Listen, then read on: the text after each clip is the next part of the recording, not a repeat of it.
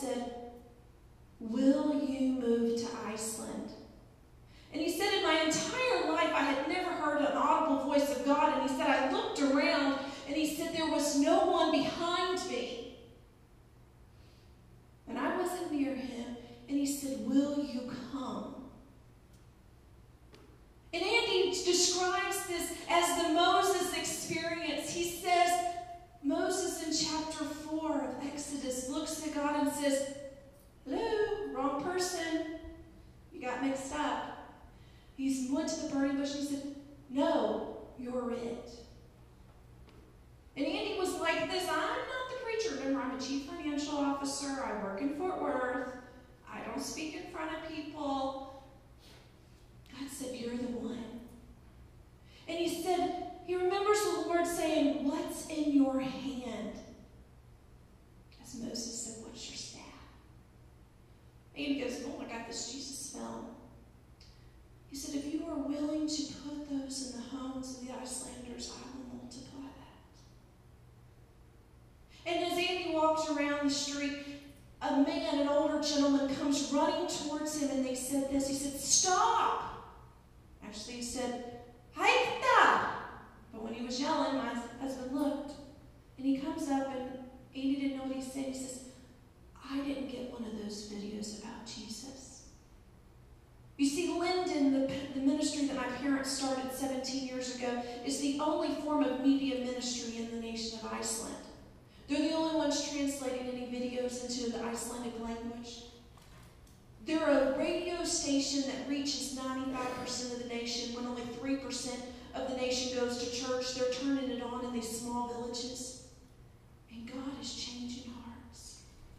You see, we have a story of a few, a few weeks ago. A lady called and she said, Sheila?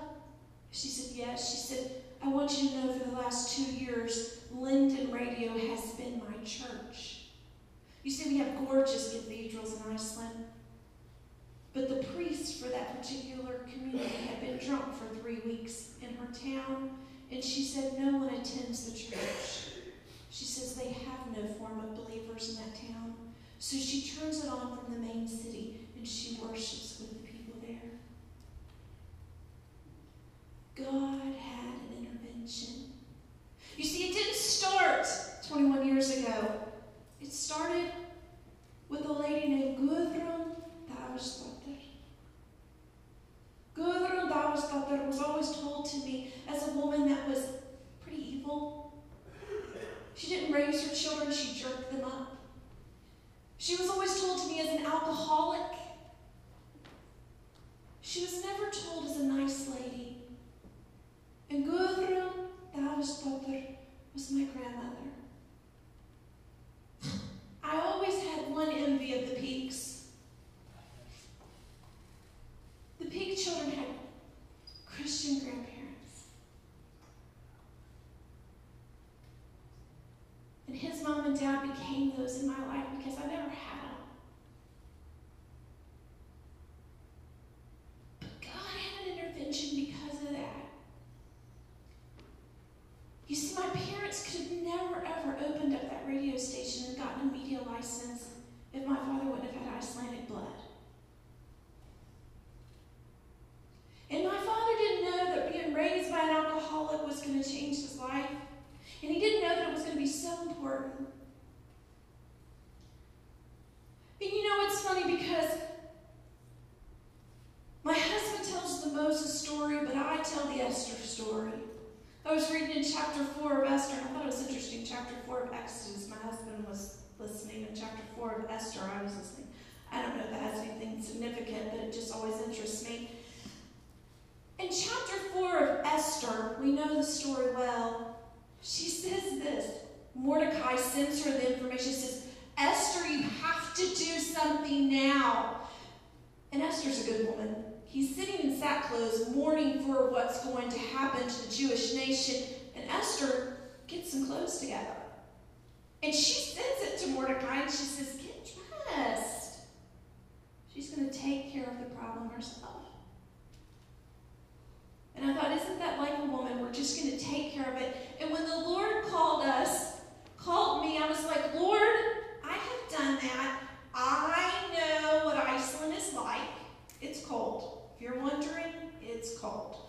In Texas, it's not. And I was like, God, I've already got the I've already got the Girl Scout badge. I've been there, done that. Thank you. And if you read on in that chapter four, Mordecai calls back and says, Esther, if you do not go, God will send someone, but you and your family shall perish. And those very words spoke in my spirit, and as if the Lord had told me, it is time. It is time for you to leave your family. It is time for you to leave your home. It is time for you to quit your job. It is time for you to give up what the Lord asked you to do and to go. I remember sitting with the missions board and they looked at our information, and the old preacher looked at us and looked back, and, and our honest thing was we told the Lord, if you ever if you ever stop this, we're okay, God. We'll keep your Lord in. And uh, we told the missions board, if you don't want to approve us, it's okay. You know, we feel like this is what the Lord wanted us to do. If you don't, okay, uh, We told the missions board that. They looked open and looked what we did. Looked open, looked what we did. And they kept looking at it. They said, boys, they're either called or crazy. Either way, we send them. He said, because we don't have anyone that has come through as missionaries to Iceland and Texas. Because there's one missionary in Iceland and it's Micah Sheila Fitzgerald. And God has said it's time for us to go and help carry the mantle. Never was that in our 10 year plan, but God had an intervention. You know, my husband is a chief financial officer, and if you know anything about chief financial officers, they know every dot and tittle of where the finances go. And I knew at the very moment that my husband said, It's time to go.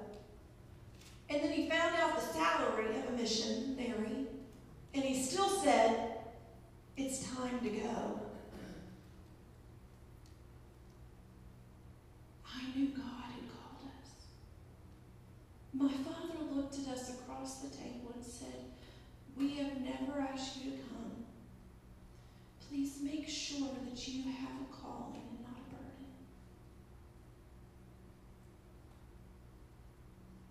And we thought about that long and hard and we said, Lord, what's the difference? Because I get burdens all the time. You see someone die and you see people on your bulletin and you see Joplin, Missouri and you feel bad and you, you want to do something and you send some money to the Red Cross and, and you feel burdened. But God showed us the difference between a calling and a burden is sleep. That's just the truth. It's sleep. When you can't sleep at night until you do something, it's a calling. And for a year, God has birthed in my stomach and birthed in my husband's stomach that it is time that we go and reach greater than 3% of a nation. It's time that we go and see grandparents like Guthrie and Babersbother fill beautiful cathedrals like yourself.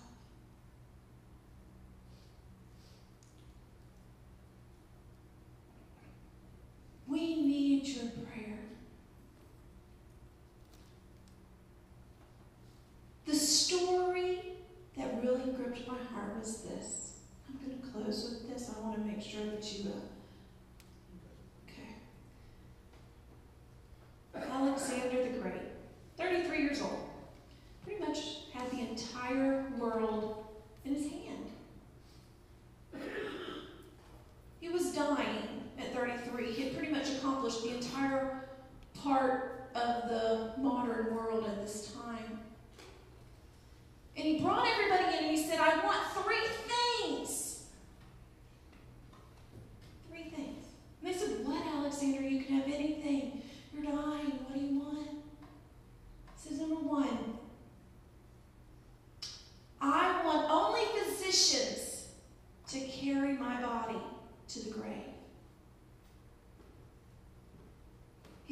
two.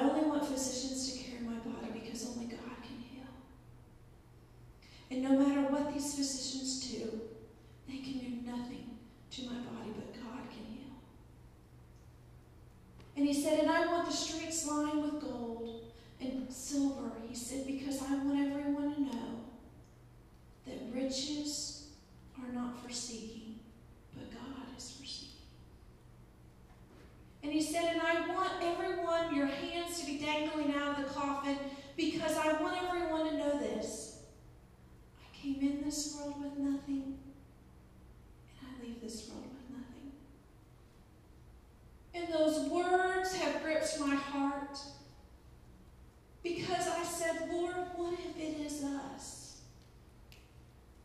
What if you have asked us to be the ones to tell a nation about Christ? What if we are the ones to go?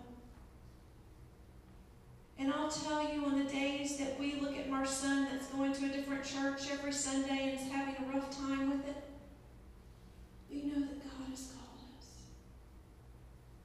You know, I look at people in, in church and I and I ask them, what if you're it? What if you are the one to tell your? What if you're the one that God said, if you don't, someone will, but you and your family will perish? What if today's the day of their salvation? What if today's the day of your salvation? I want to be a part of that. And we ask that you pray us. We want to be in Iceland in six months. We need to finish raising our funds. We ask that you pray for our son. There's three. He's not quite sure what's going on. He knows something's different, but he always tells us, like, Luke, do you want to move to Iceland? And it was nighttime, and he said, Not tonight, it's dark. Yeah, he doesn't quite get it yet. But we also want you to pray that we see that number that says less than 3%. It will begin to rise because one thing we know about is God is serious and he has an intervention for his people.